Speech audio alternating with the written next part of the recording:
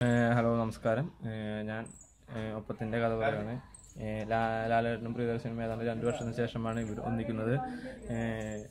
ഒപ്പം നല്ല പ്രതീക്ഷയോടാണ് ആരാധകരും ഇരിക്കുന്നത്. ഈ ഇതിന്റെ കഥ പറയുകയാണെങ്കിൽ ലാലേട്ടനും വിമലരാമൻ ഒരു നാട്ടിൽ താമസിക്കുകയും ഒരു കൊച്ചുണ്ടാകുകയും അതിനുശേഷം വിമലരാമൻ കൊല്ലപ്പെടുകയും ചെയ്യുന്നു. അതിനുശേഷം ഇവർ ഊട്ടിയിൽ ഊട്ടിയിലേക്ക് പോവുകയും അവിടെ മോഹൻലാലും ലാലേട്ടനും മീനാക്ഷിയും അവർ അവിടെ താമസിക്കുകയും ചെയ്യുന്നു. അതിനുശേഷം യാദൃശ്യമായി ഒരു കൊലപാതകം നടക്കുകയും ആ കൊലപാതകം ചുറ്റിപ്പറ്റി ലാലാറ്റിന്റെ അടുത്ത് എത്തുകയും ചെയ്യുന്നു. അതിനുശേഷം വേണു സാറിനെയും കാണുകയും ചെയ്യുന്നു.